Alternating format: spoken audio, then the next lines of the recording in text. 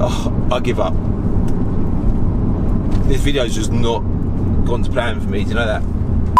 Right, so I'm currently at um, our shop at Poplar's Garden Centre and I'm just with Leo and he's just gone inside somewhere, I don't know, he's over there somewhere. In the 340i, he's actually been daily driving this car. It's a serious car, he loves it. So it's obviously it's an auto, it's kind of like a chilled car, but it's got loads of power, so it's pretty, pretty good all rounder. But we're going to pick up, uh, you've seen it in the thumbnail anyway, an Audi S1 from another car trader that we deal with.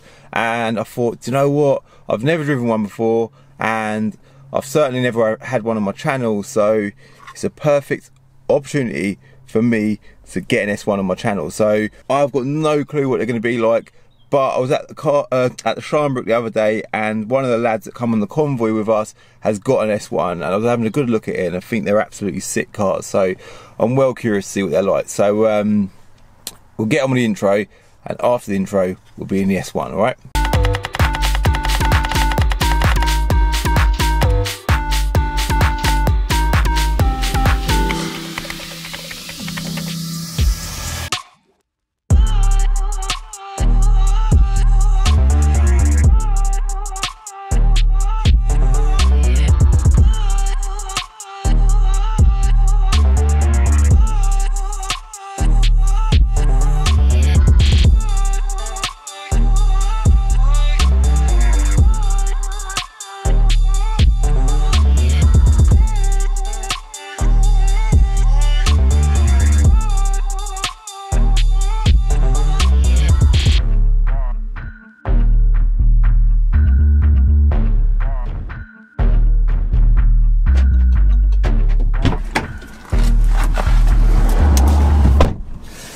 As ever, I am in a massive rush. Is that all right? That's all right, isn't it? I'm in shot.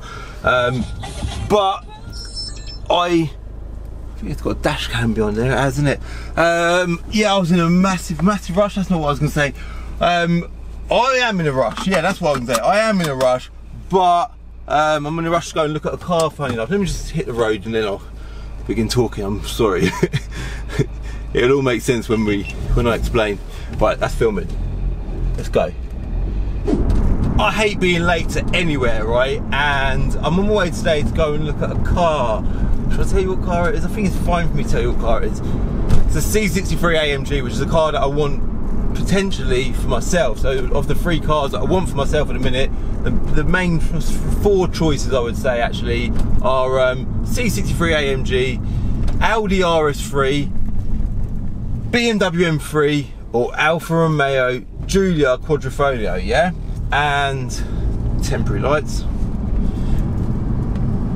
And today I'm going to look at a C63. So it's a big day for me and I've been, I've been well excited about seeing one of these cars, driving it. And uh, I'm meeting the guy that's selling the car at 12 o'clock. It's actually a guy that follows me on YouTube. And um, as I was about to head off, I got a call from one of our guys at Binca to say that um, the Audi S1 that we've got advertised has got someone who wants to come look at it. Um, can you bring it over? So I'm like, hmm, I'm already in a rush to get to this place and I don't like messing people around. But I thought, I really want to go and pick that car up because I've never driven one before and it's a car that pops up in conversation a lot. So right now I'm in the drive seat, I'm filming, and I thought, you know what? If I'm picking this car up, I am getting my cameras and I'm doing a video on it because there's no way am I driving an Audi S1 for the first time ever and not filming it. So uh, here I am, I'm late. I've just texted the guy that I'm going to be going to see to say that I am running late and Steve, Steve, if you've watched this video, you'll now understand why I was late today to come see your car. Uh, but for me, like I say, I hate being late to people, to meetings or whatever, but it had to be done. So I I am very my knowledge is very brief on this car, all right. I don't know loads about them, but like I said as well earlier, I have. I I was at um, the Sharnbrook recently, and one of the lads that come along to the convoy that I'd organised at the last minute. Great turnout, by the way. So thanks to everyone who turned up to that because it was a bloody good convoy. And uh, but that aside, one of the lads had an Audi S1, yeah, and I had a proper good look at it and I was like, do you know what, this car is actually a serious little car. He had some different seats which were, are apparently an optional extra. They're called super sport seats. And they got like plastic backs on them. And again, forgive me for being so like clueless about these cars. I did look at this car at the weekend with like no knowledge and I was just like shocked how cool this car was. And then when I got the call today to say, look, we need to go and drive, uh, I need to go and pick this one up, I thought, this is now my priority.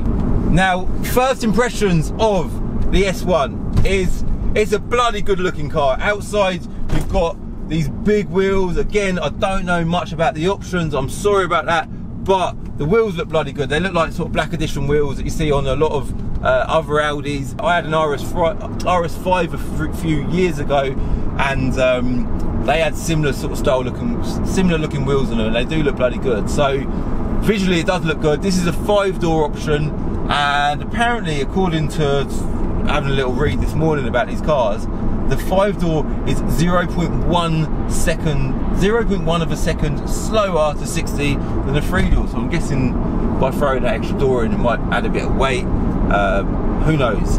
But they are 1350 kilos, so you kind of compare compare it, or in my head, I compared it to a Civic Type R. Again, apparently they only come in manuals, which is uh, quite an odd thing, really. They'd be really cool with a, a DSG gearbox or an S-tronic, should I say? Um, but blimey, that's fourth gear, nice, nice power delivery. Um, but yeah, comparing it to a like I don't know why a Civic Type R just sprung to mind, but it's a, a, a, manual sort of sporty car with similar power. This has got 225 bhp and or there or thereabouts anyway. And um, like I say, it's a manual gearbox and it weighs a little bit more than a Type R. I think Type R's are about 1250 kilos and this is 1350. So it's not super lightweight considering the size of the car. So straight away I put my foot down there. I wonder if we've got any sports drive modes. We've got a drive select button down here. Let's press that, see what happens. So in front of me I've got like a little LCD display and when you press the drive select button down here, different things happen on this screen. Now, um, I've gone straight into dynamic mode and I've noticed throttle response is a bit sharper and the turbo's so strong with it. Uh, and it roars, it bloody roars. It is a two litre turbo. Again, if I'm honest, I didn't bloody know that. I thought they were 1.6 turbo. I can't believe this little car has got a two litre turbo engine in it. It is a quattro, quattro as well, so it's four wheel drive and it's just a tiny little car with a big, I know two litres is not a massive engine, but for this size of car, that's a big engine. So it's a car that's quite, it's quite a serious car, isn't it? Now annoyingly, in front of me I've got a an old Rover uh, but there is a 50 mile an hour road, so I can't do too much anyway. But it is impressive how it delivers power. So I'm dropping it to third, foot down. It's it's quick, yeah. Now the reason why I wanted to get this car on my channel, which is just as important as it being the first time that I drive this car, is it's a car that a lot of people that watch my channel will definitely be interested in. I I was sort of laying in bed last night looking at Audi RS3s and the whole S and RS thing, it it's a big scene, isn't it? People love these types of cars and I don't think there is no such thing currently as an Audi RS1. So this is like the top of the range, small Audi, yeah?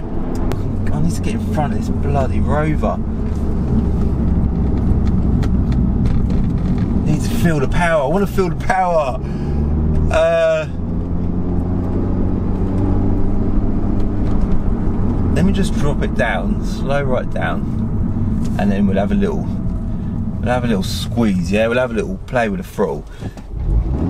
So it is this traction control off, full drive. So don't think it's got launch control, but on launch it's gonna give a lot of traction, yeah? Ready? Three, two, one. Let's see what does 60 in. Go.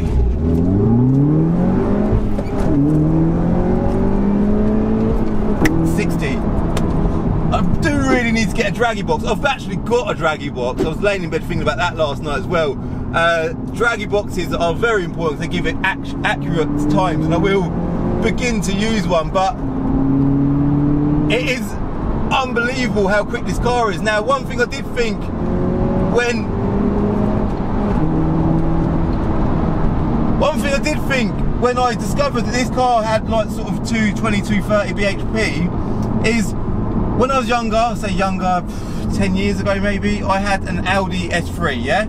And it was an O2 plate car in Nogaro blue. What a lovely colour that is, Nogaro blue, yeah? Traditional, or traditional, or notorious, or legendary Audi S and RS colour. Love that colour, and I absolutely love that car. But that was an S3, yeah, which was at the time Audi's small sports hatch, if you like, sort of comparable to this, but it is an A3, so it's a bigger car. And but anyway, forget about that. That had the same BHP as this car did from factory. And I thought, wow, that car was like back then for its time was a seriously quick car. And this is just an A1. That's what I thought. This is an A1 with the same power as my old S3, which I think is quite serious. Now I don't know what I don't know what insurance is going to be like for this type of car for the type of person who's going to want to drive it. Probably quite expensive, but I do also think that the type of person that does buy this car would generally be someone who can afford costly running costs of this car because they're not cheap cars to buy. If you're committing to buying one of these cars, then the chances are you're probably someone who has quite a a wealthy pocket, shall we say, and you know what you're committing to. You know what you're letting yourself in for because, like I say, they are a big engine. Fuel economy is not going to be great. In fact, the lad, I say the lad, I keep think, I don't know what, I think, I'm guessing his name's Alex. I'm sorry, Alex, if you're watching this, uh, but you keep springing to mind because obviously I was with you at the Shrine the other day. But uh, Alex let's assume the lad's name's Alex, who I spoke to the other day with the S1. He said that he gets terrible economy out of his car. Uh, generally, it's about 20 miles to a gallon, which for a tiny little car isn't that great. Also, touching on the price of these cars, this car is about, I think, up sale for about £13,000. Again, that's not a cheap car compared to a lot of other types of cars, like you can get a, a Golf R nowadays for that kind of money. So there it's a hell of a commitment buying an S1 but they are a seriously special car. On the outside you've got like silver mirrors you've got a black roof you've got four exhausts out the back. So it is a car with a hell of a lot of character. The seats have got S1 stamped in the back of them. So um, all in all it's a serious little car now annoyingly I do feel like I want to cane the arse out of it if I'm honest, just before I drop it off, but I can't because surely this car's been remapped. It's proper quick. Because yeah, there's a rover in front of me and roadworks everywhere and stuff. Honestly, the way it just this is quick. So annoying.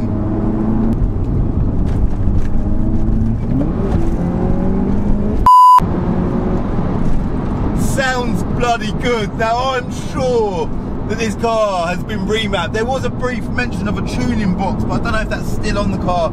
It, it's too quick. This car, this car is a, a hell of a lot quicker than I thought it was going to be.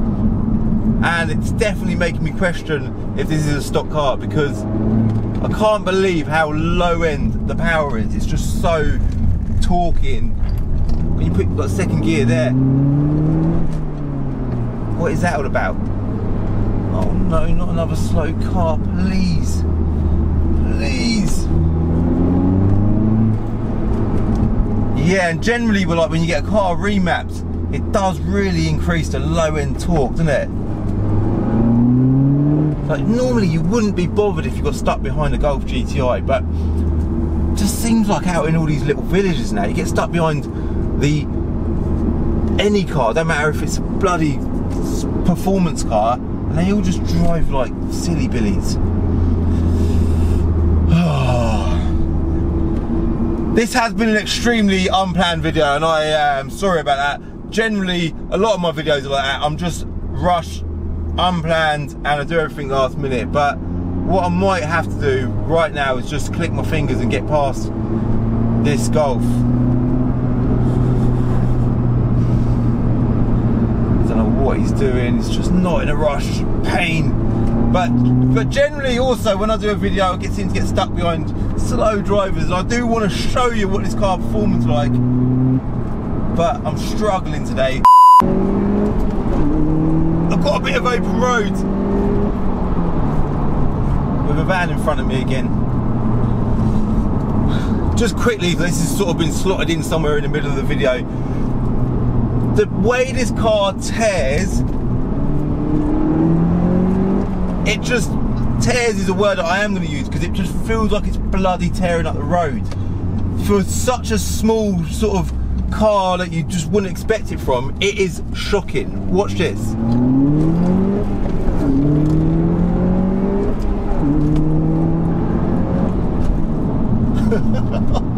but um Audi S1 what are my first impressions of it let's summarize this video my first impressions of an Audi S1 are they look amazing, yeah? They've got a hell of a lot of character. Like I said, the black roof, the four exhausts, the nice wheels, uh, the fact that they come in a five door. A little bit annoying they don't come with an S-tronic gearbox because that would be amazing. Imagine sort of flicking through that gears now oh, that would be unreal.